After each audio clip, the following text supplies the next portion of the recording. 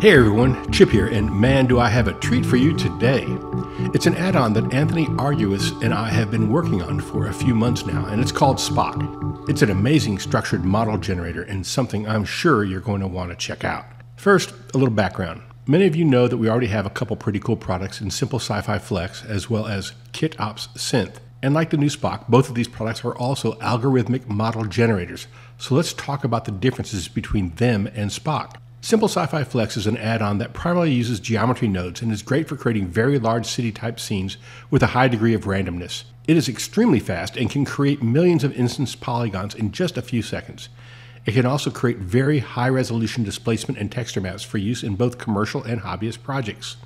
To do this, it uses something we call DPACKs, which are simply collections of objects.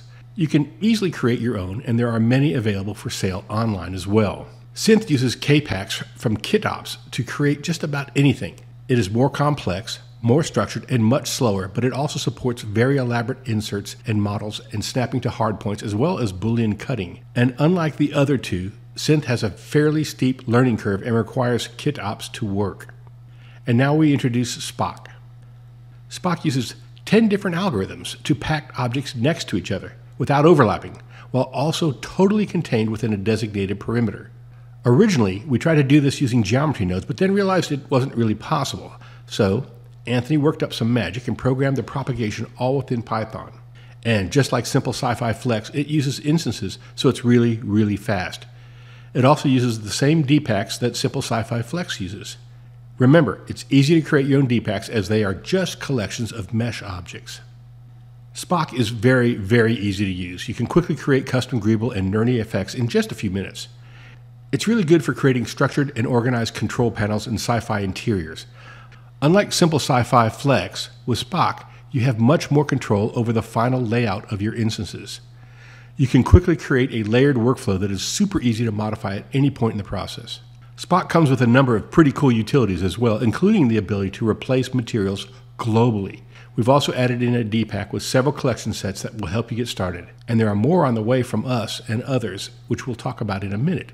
And Spock also comes with a set of materials that are useful, including a multi-material that allows you to create different materials for each instance it's applied to. It also has an Edgeware version as well.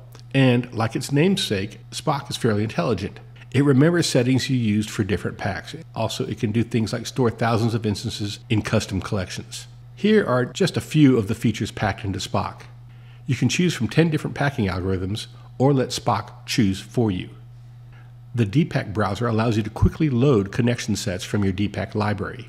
We include Sci-Fi DPACK with several collection sets. Here are some of the objects from those sets. Spock includes multi-material and edgeware material along with utility for global swapping of materials. It has a refined layered workflow which allows you to save existing packed instances into new collections, load settings from previously saved collections, turn on and off visibility of saved collections, and convert instances to meshes for saved collections. It automatically checks for updates, and you can define any folder for your DPACK collections in Preferences. The max number of instances can be set when packing so as to not overly burden Blender. And like all of our products, Spock comes with very detailed documentation and full support on Discord. Just like KitOps, Spock already has creators building DPACKs for Spock. Many of the new DPACKs are cataloged at cw1.me forward slash DPACKs. Check them out. Also, here are some renders created by our beta testers along with some of their DPACKs as well.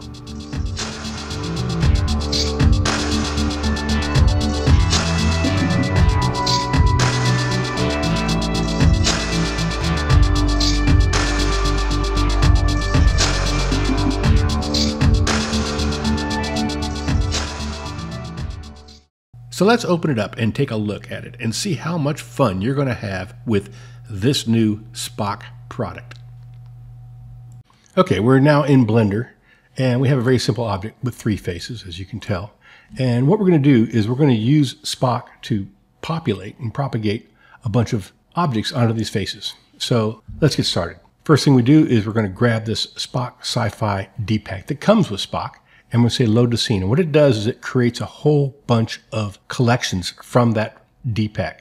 And these collections now all have objects inside them, and those objects is what it uses to populate with.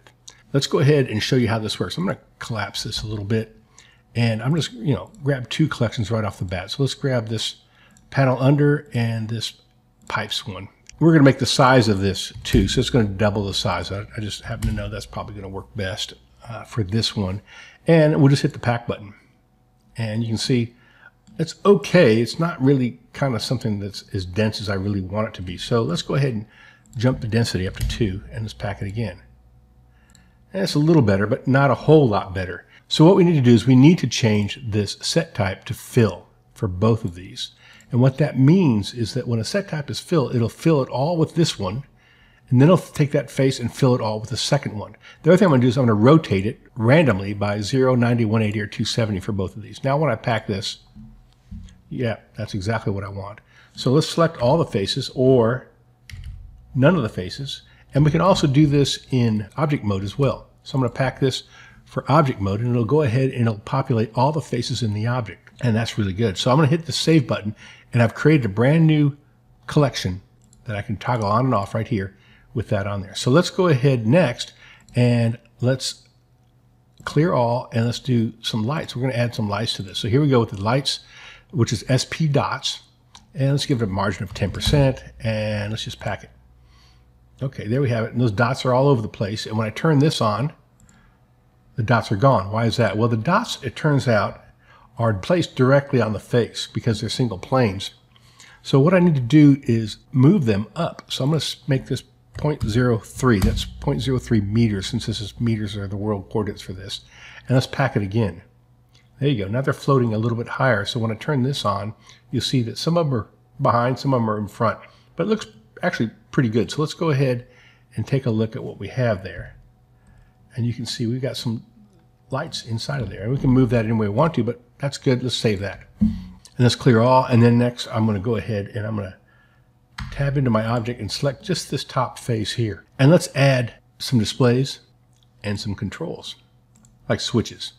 And we're going to give the margin of those one. So we want them not too close to each other. And we'll pack them. And we'll take the density down to one also. Uh, and, and we're just going to pack them. And then you can see that packed them, but it packed them so you can't really see through them. I want I don't want the density to be quite as high as that, even though we take it down to one. And if I take it down to 0.5 and pack it, it really just quits packing at a certain level. Uh, the other thing we have a problem with is we have a problem with the rotation. So we just need to rotate these probably 90 degrees. Should work. Let's put the density back to two and pack them and see if we got the, if we got that right. Yeah, that looks good. Now the next thing I want to do is I want to create some spaces in here. So I'm going to add a new collection set and I'm going to use the same exact one as switches. And I'm going to set this to empty. So this means that it's going to use the same bounding boxes for switches, but it's going to set it to empty. And I want this to be twice as prevalent as these others. So I'm going to go to the factor and make it two. So this is for, for every four instances, one will be a display, one will be a switch, and two will be these empty ones. So let's pack it and see what we get. Yeah, so you can see now it's quite a bit lighter. So that's good. Let's just go ahead and save that. And now we're going to go down here and select this face. And let's go ahead and clear all and say new. And we're going to pack this with panels extra large. Let's pack it. And you can see they're not high enough. So let's go ahead. First thing we want to do is move those panels up. So it's 0.05. Let's do that. Pack them again. Let's give them 1% margin they're actually too big. So let's just go ahead and scale them down to something else. So 0.66 seems to work, and I might try something like a corner sorted on this. See what it does. Yeah, it drops it down a little bit. Because these are instances, I can just take any one of these and just delete it. So I can see through to it if I want to. So that's that's kind of cool. We'll just leave that like that. Tab into it, and then we're just you know going to simply put a floor in here, and uh, we got to save save this, and we'll say clear all, new, add a floor, and let's pack that. Uh, let's, put the Z offset at 0.05. We know that we're going to need to do that again. So there it is, packing it, and there's the floor. And I think it's a little too big, so let's go 0.66. Let's try that. Pack it, 0.8. Pack it. There we go. That looks good. Now, one of the things that I've noticed is that If we hide all these, we see that this is pretty good, but I want may want to move these forward a little bit. So the way I can do that is say Control R, and let's just move this all the way back to the back a little bit, and then select that face and pack it. Now it moved them all up nicely. And let's turn them all on and let's render it. And there is a really very quickly created sci-fi object that we created using Spock. We also have videos on how to create your own D-packs and collection sets, as well as in-depth tutorials on how to really get the most out of Spock. And those links will be in the description. If this interests you, jump over Blender Market, grab yourself a copy. And thanks for watching. See you online.